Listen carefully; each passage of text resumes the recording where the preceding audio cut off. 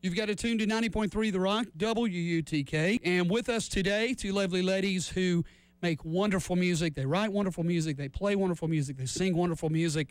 Uh, basically started out as a trio, I guess, and now as the duo Abigail and Lily Chapin. The Chapin sisters, welcome to Knoxville, ladies. Thank you. It's our first time here. And let's get into this great music that you all make. Abigail and Lily, thank you so much for coming to town. Again, playing the pilot light tonight, right? Is, is Yeah. there somebody else on the bill with you? I forgot to look into that. Yeah. Yeah, there's a, a amazing band called um, Wilderness of Manitoba, Oh, and cool. they're um, on tour from Toronto. All right, Yeah. that makes sense then with, with the title and the name. Yeah. Uh, Pilot Light, a great room, kind of the indie rock room in town, and uh, will be a perfect uh, room and a, and a perfect listening room tonight for what you all do as well. Talk a little bit about that, but the main thing we want you to do, you've got the guitars in, in hand and strapped up and in tune. Can you give us one of your lovely tunes for us? What, what are you going to do for us to give folks a little taste of what they can enjoy at the Pilot Light this evening?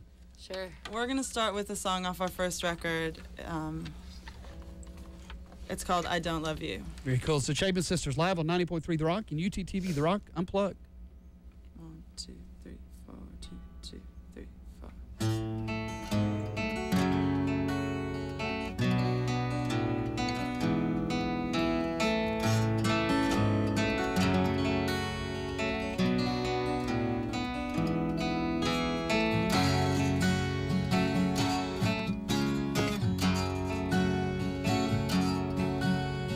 See me out past midnight, if my eyes are glazed with starlight, if my lips stained wine red, you might make me lose my head.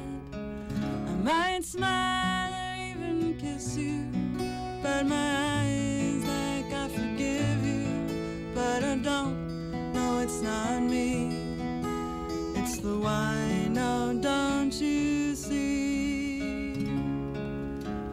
My darling, I don't love you, and I'm not about to start. Don't adore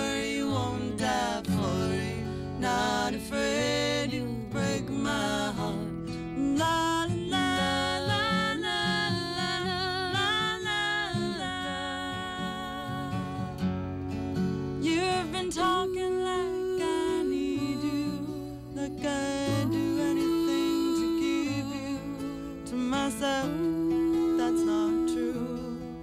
I hardly even think of you. If I call you and I'm lonely, please remember that it's only just a habit. It's not me. You're so easy, don't you see? Oh, my darling,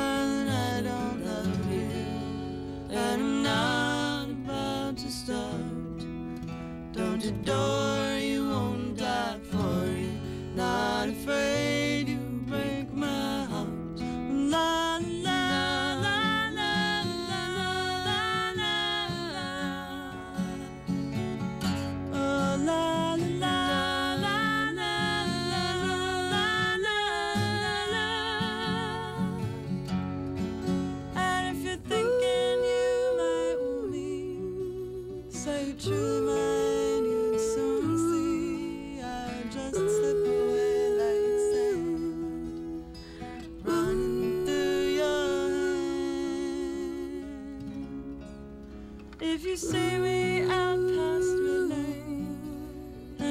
much further just my own.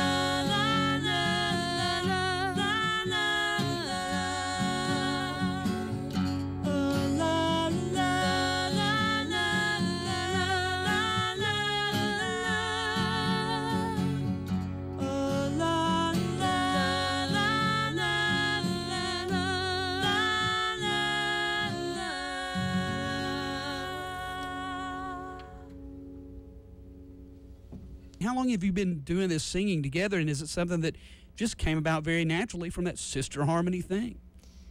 I- think it is a natural thing, but um, I always wonder if it's just because we hang out a lot. So Yeah. I think maybe you could have it with someone who wasn't a sister, but maybe there is something in the DNA that makes it vibrate or something. I don't know. And I think also they always say the people who look alike sound alike, and I think Yeah. our voices are really different, but like we have a similar facial structure, maybe like our resonance inside Sure. our mouths is the same or something. Sure, sure. Because we have really different voices. I mean, Right. there are some sibling groups who actually like you can't tell who's singing, Right. um, and we're not like that. You know, we really.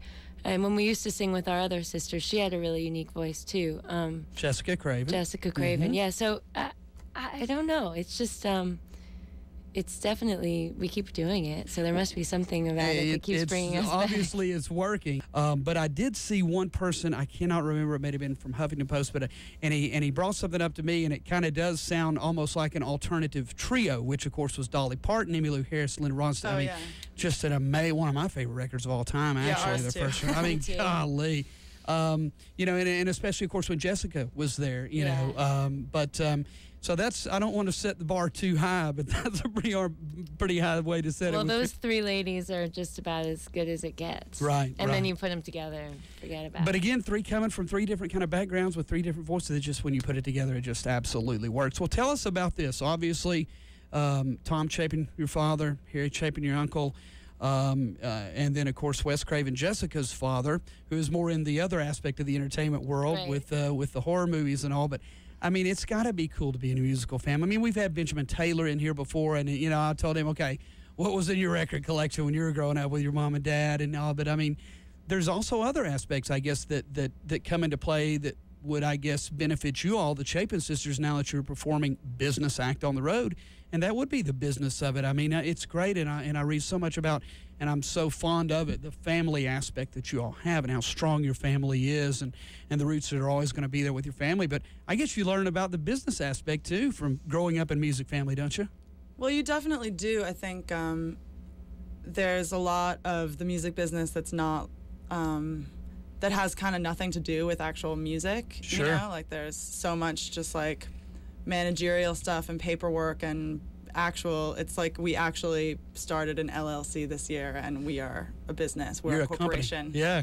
and uh, you know the A same very, rights a as very little one. But growing, growing, uh, Um, aspiring. yeah and and that whole side is something that you kind of forget about when you you know are writing songs and playing shows and stuff you're like that's not something that you realize is kind of as important maybe more important in terms of keeping a career going Sure. and um, i think we're lucky because our dad has you know been doing this for 50 something years Sure. and he has a lot of uh, I mean, his machine is bigger than ours right now. He has, you know, some people who like do his bookkeeping for him and stuff. Sure. Which we don't yet, but um, but he has been through it all, so it is really um, it's it's a good touchstone to have somebody who knows, and and we have lots of family and friends in all different walks of the music business. So it's not just not just him, but having people who've been through it in all different, you know, ways. Absolutely. Well, um, you all, I guess, were you, were you born and raised in Brooklyn mainly, or in, in New York, and then, but you've been in L.A. for how many years now? Well, we grew up in actually the Hudson Valley, which is a, Oh, beautiful. a beautiful kind of little area in New York. Um, born born in Brooklyn Heights, and then moved out to the, the Hudson Hudson River area. But yeah, we've been in LA for a while now. Kind of started the band in LA actually. Right, yeah. right, very cool. A lot of influences out there, a lot of inspiration, a lot of business Yep. and whatnot out there as well. So. Yeah, it's just like mu- music is um it's it's not as big out there as, you know, movies obviously. Sure. Everything is like under the shadow of the massive behemoth of the entertainment business out there, but um there's some really amazing musicians in LA. And Yeah. you know, j- similar to um, Nashville or New York or um, you know any of the kind of music centers, everybody comes through there, and um, you can really get spoiled. I think you know sometimes you just don't want to even go out to see any shows because there's too many to choose from. Sure. And actually, it's it's nice to get out on the road and um, and ironically end up you know seeing b- some band from California in Knoxville or something, which just happened to us this morning, and uh, it's really cool. It's it's really nice to get out and, and see the country. You guys, um, uh, you have a knack of or, or a fun time doing some neat covers from time to time. I know you've done Madonna's Borderline, and uh, That's right. I think I've read you've done Culture Club's "Do You Really Want to Hurt Me," which is such a great song, you know. But I guess the one that put you on the map, as they say, or went uh, viral on the video in the internet world, um, was Britney Spears' "Toxic." Right? Tell us a little bit about that, and you know, and I love the spirit of it. I love having fun with it and how you make it your own. I guess. Tell us a little bit about how that came about and how it just really got a life of its own. Really. Well, we started out um, before even thinking that we were really a band. We we kind of got together in a recording studio.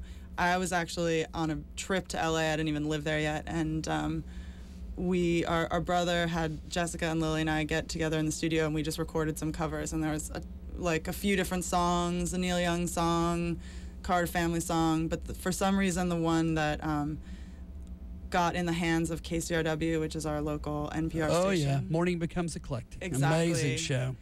Um, well, Toxic was actually this dates it our version, but it was like the number one song of the time, you know. So the the Britney Spears version. So it wasn't even. Um, we didn't have to look far for that as inspiration. It was just like everywhere, and the video was everywhere. And I actually um, worked at MTV or at MTV Networks at the time at Nickelodeon in New York, and um, there were TVs everywhere, all over that building, and they were just always playing that video. And Britney has like red hair and then white hair and then black hair, and she's on the motorcycle and she's on the train and she's in the plane, and she's it's crazy, amazing video and the song. We, you kind of overlook the song completely because the production is so intense. The and video aspect video is so it, yeah. amazing, and um, when we stripped it all away, we discovered this like beautiful, kind of haunting, sad song Yeah, um, which we didn't even intend to find, but we Yeah. found it. but it's, and it's all about the song. I mean, Yeah. when, when you strip it all down, it, it's always about the song. Isn't and it? you know, that song was crafted by really uh, incredible songwriters, and that's what, what kind of why we keep doing it. Because you know, th- those are the people who should be, um, you know, saluted for it. So Absolutely. if they make a, a couple extra dimes, not that they need them, off of our version, then they deserve it. No, they're making that mailbox money, as they say, walking to the mailbox and getting the check. And uh, we had Joe Pug in yesterday, who's just a great singer songwriter based out of Chicago now. And we talk so much about that, how it's it, you know it always it ends up and always goes back to the song, no matter how Yeah. great the video is. I mean, you've always got to stand on that song. Yeah. Yeah. And uh, and it's neat when you put your touch to it. Could you all give us your touch to uh, Sure. to Toxic now? Sure. We've got the Chapin sisters, Abigail and Lily, live in studio playing the Pilot Light this evening in our studio right now. Ladies.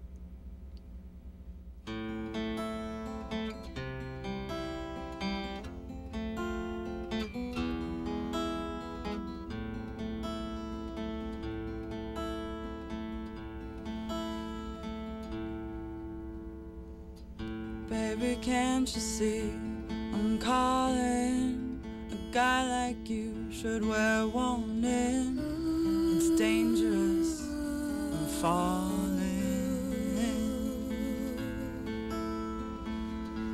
There's no escape. I can't hide. I need a hit. Baby, give me it. It's dangerous.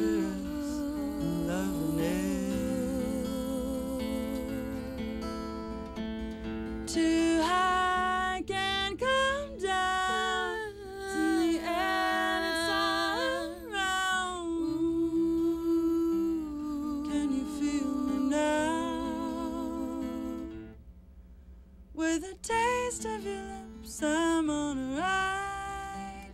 You're toxic, I'm slipping under. Taste of your poison paradise. I'm addicted.